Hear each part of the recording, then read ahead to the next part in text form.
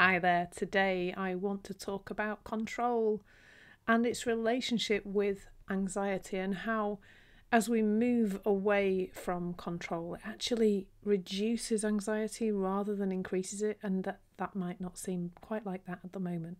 So let's just start by talking about control. So, the first thing to know about control is that it is an illusion, a complete and utter illusion on on a couple of fronts really. So first of all, you cannot control what is going to happen in the outside world. And of course, when we're talking about anxiety, most of that control is around trying to stop things in the future from happening or create things that we want to happen in the future with the idea that we'll feel okay if we if we get control of that from whichever perspective we're looking at it. But have you noticed how it just doesn't work that way? And that we can spend a lot of time tangled up in the future trying to work out what kind of things um, we can do to control the future or to control life or to control people or control situations, and that we literally cannot do that.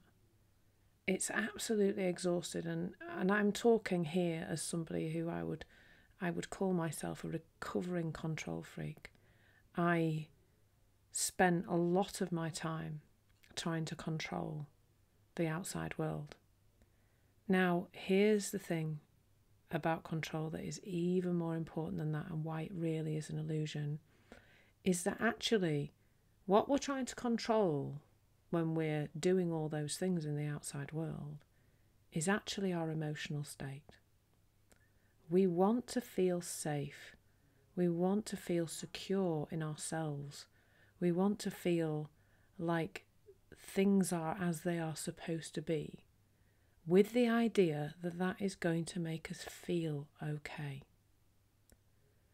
But the thing about that is that that is not the way your experience is created. Your, com- your entire experience is created from the inside out, not from the outside in. So you, in fact, cannot, cannot control your emotional state by fixing things in the outside world. What we're all trying to do there is fix ourselves into a particular emotional state. Let's call that peace because it's it's a word I think that most of us can relate to.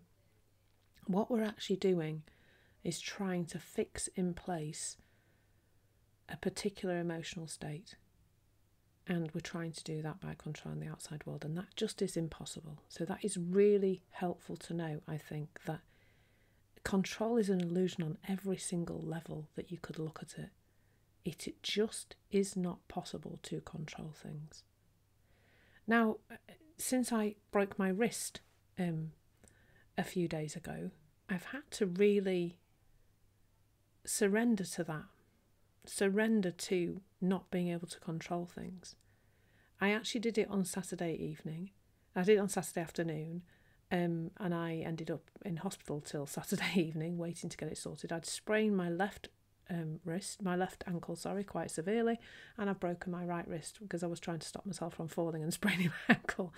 So I, am quite incapacitated at the moment. And this is the first day I've managed to get back to my desk um, a few days after it happened. I've had to rest in bed with my foot elevated most of the time.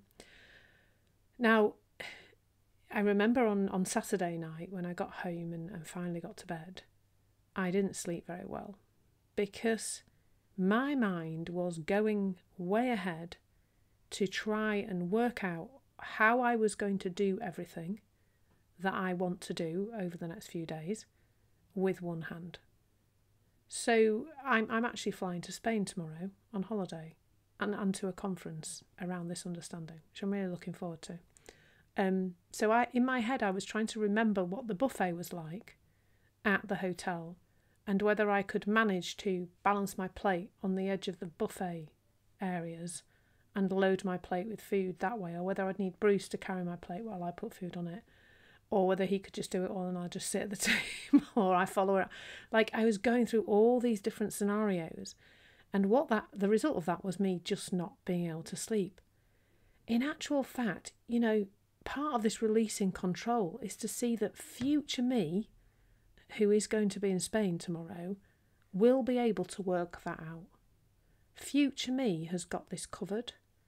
Future me doesn't need the interference from the me of now in trying to work all of that out. And when I started to see what my mind was actually doing there, and, and it is a normal thing for our minds to do that, by the way. You're not trying to control the mind or to control the thinking. This is just about seeing the utter chaos that our mind can create when it is trying to control things that are not ours to control. Now, when I saw what I was doing there, I very quickly started to feel much more peaceful. And I felt much more connected to this sense of trust. Trust that I will be able to sort those things out when I actually get there. That I don't have to try and control them right now. Now, we're very fortunate as human beings because we have this really clever system that has been created to let us know when we are in a state of trying to control things that are not ours to control. And that's the sensations that come up. So we've spoken today a little bit about anxiety, but this is what this is about. That when you feel that anxiety, when you think, oh, the only way to get rid of this anxiety is to control something, in actual fact, the anxiety is just a powerful gift to let you know that you are believing something that is not true. There is something unconscious or conscious that you are engaged in in your mind that is not true. And I think that is one of our most powerful warning systems. It's like the dashboard light in the car that is there to tell us when things are not going well, when things are going awry. That's what that feeling of anxiety is for. So that's a really powerful thing to see around control and anxiety. Seeing that it is, you know, that the two are really connected. The more we're trying to control, the more we're trying to reduce the anxiety, in actual fact, it's having the reverse effect because the mind is caught up in things that are not true, things about the future, things about how we're going to sort out the future. All of that kind of stuff is there, and it doesn't, you know, it, it, it is not controllable. It's not possible for us to control any of it. But the body, which is very wise in regard to all of this, says you're feeling this discomfort because you are believing something that isn't true. And that when we fall into trusting that when we get to that point in life, whatever that point in life is, that the future version of us will be able to handle those things because then then they will be present things, they will be things that are real, assuming any of them actually happen, of course, which is which is, of course, often not true. I'm definitely going to be going to the buffet in the hotel, though. Um, you know, so I was trying to plan how to manage all of that um, ahead of time. We really don't need to do that. And you know, this is this is where we can really see the power of the mind. Because my mind, when I have to deal with something in the present moment, so like today, what I'm dealing with in the present moment is using my mouse with my left hand. You know, the hardest part of it is getting the right, which is the right click and the left click, and what they both do because they just, it's all obviously feels completely back to front. Um, I see why people have left-handed mice now for for operating their computers.